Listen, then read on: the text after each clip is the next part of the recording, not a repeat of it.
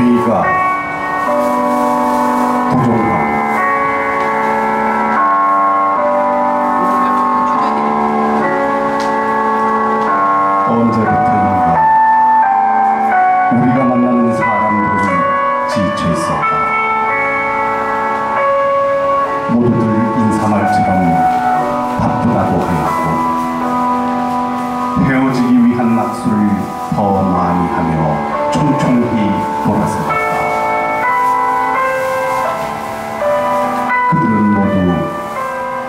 낯선 거리를 지치도록 헤매거나 벼랑 부는 사무실에서 어두워질 때까지 일을 하였다.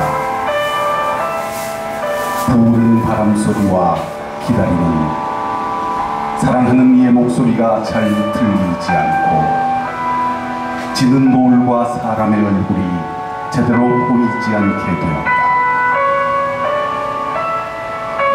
밤이 깊어서야 어두운 골목길을 혼자 돌아와 돌아오기 무섭게 지쳐 쓰러지곤 하였다. 모두들 인간답게 살기 위해서라 생각하고 있었다.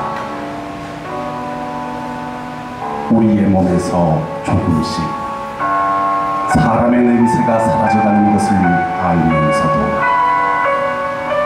인간답게 살 수 있는 터전과 인간답게 살 수 있는 시간을 벌기 위해서라 믿고 있었다.